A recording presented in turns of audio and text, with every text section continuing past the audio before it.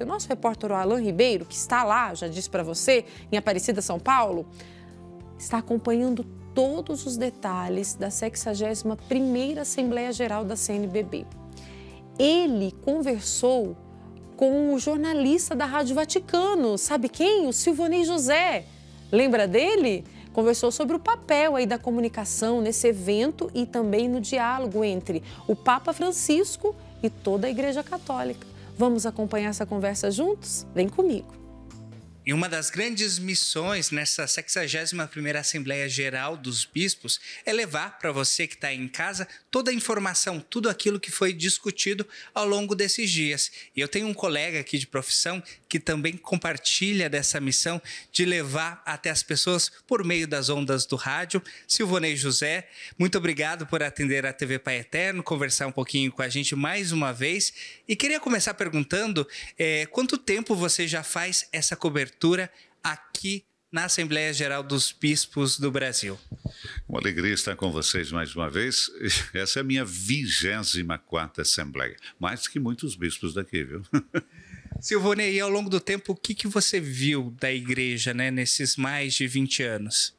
Veja só, é, é claro 24 anos atrás não é, não são os mesmos bispos que estão aqui. Eu vi uma transformação e eu creio que essa transformação foi sempre uma transformação positiva, uma igreja em caminho, aquilo que nós temos hoje no nosso querido Brasil.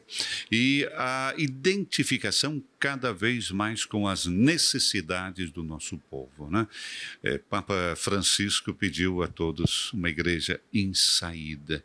E essa em saída não é simplesmente sair da igreja, mas é fazer alguma coisa né, no meio do povo. Não é só na rua, não, mas é entrar nas casas também, fazer parte da vida das pessoas. E essa igreja em saída, conversando com os nossos bispos, a gente vê é, no olhar deles, na ação que eles hoje é, fazem nas suas dioceses, que esse pedido do Papa Francisco é um pedido perentório, é um pedido que está sendo respondido aqui no Brasil.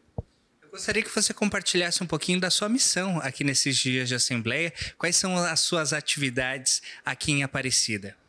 É, eu sou um privilegiado, eu posso dizer, porque eu encontro todos os nossos bispos. Né? E a minha sala aqui onde você está agora nesse momento é um, uma meta de peregrinação. Nossa Senhora me perdoe, tá?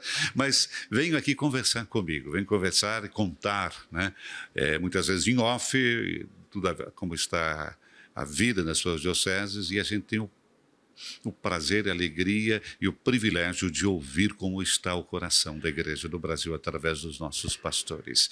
E ouvindo eles as histórias, os desafios, as alegrias, a, a gente pode é, colocar em cima de tudo uma palavra que Francisco hoje nos pede tanto: esperança. Né? A esperança que vai junto com a fé e a caridade, mais a esperança que busca e leva, seja a nossa fé e a nossa caridade. Se não tivermos a esperança, complica tudo. Então, é, ouvir os nossos bispos e depois traduzir isso nas matérias que a gente manda para o Vaticano e que depois retorna ao Brasil através das nossas é, mídias sociais, através das rádios que nos retransmitem, do nosso portal Vatican News, é uma alegria, porque a gente conta uma igreja que tem que ser contada. Qual que é a importância de levar informação por meio do rádio, que chega muitas vezes a lugares onde a TV não está presente, a internet não está presente? Veja só, é, tão importante que alguns bispos que têm rádios aí venham me procurar para fazer chamadas, para fazer é, colocações, pra, e convidando eles a seguirem também a Rádio Vaticano. E isso me enche de alegria, me enche de alegria porque através dessas emissoras são hoje mais de 400 no Brasil que nos retransmitem. Através dessas emissoras, nós conseguimos ser ponte entre a capital da catolicidade e a nossa igreja local. A nossa eh, missão, né, eh, como Rádio Vaticano, como Vatican News, né, a nossa missão preferencial é trazer o magistério petrino, né? a palavra do Papa, a, a, a mensagem da boa nova do Evangelho.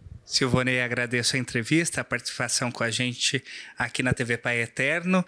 E eu sigo aqui levando informações, assim como Silvonei, fazendo apuração de tudo o que acontece nessa 61ª Assembleia Geral dos Bispos do Brasil.